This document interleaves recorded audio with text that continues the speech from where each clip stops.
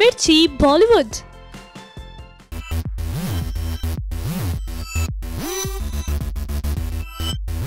पिछले दिनों खबर मिली थी कि टाइगर ज़िंदा है के बाद कटरीना की नज़र सलमान की अपकमिंग फ़िल्म भारत पर है सलमान की आने वाली फ़िल्म भारत में जगह बनाने के लिए कटरीना न सिर्फ़ सलमान को मक्खन लगा रही हैं, बल्कि इन दिनों मैडम डायरेक्टर अली अब्बास ज़फ़र के पास भी काफ़ी चक्कर लगा रही हैं। लेकिन आपको बता दें कि सलमान की इस फ़िल्म में कटरीना खुद काम नहीं करना चाहती, बल्कि इजाबेल कैफ के लिए जगह बनाना चाहती हैं।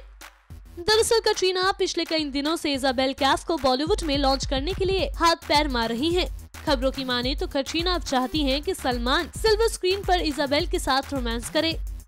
कटरीना आजकल इजाबेल को फ़िल्म भारत में सलमान की हीरोइन बनाने के लिए जमकर मेहनत कर रही हैं। हाल ही में कटरीना जब भारत के डायरेक्टर अली अब्बास ज़फ़र की पार्टी में गई थी तो वो खास तौर से अपने साथ अपनी बहन को भी लेकर गई थी यानी सलमान के साथ साथ कटरीना भारत के डायरेक्टर अली अब्बास ज़फ़र को भी अपनी बहन के लिए मना रही हैं। बता दें कि पहले खबरें थी कि कटरीना खुद इस फ़िल्म में काम करेंगी, लेकिन उन्होंने अपनी बहन के लिए इस फ़िल्म की कुर्बानी दे दी आपको हमारी स्टोरी कैसी लगी, हमें कमेंट करके बताना मत भूलिएगा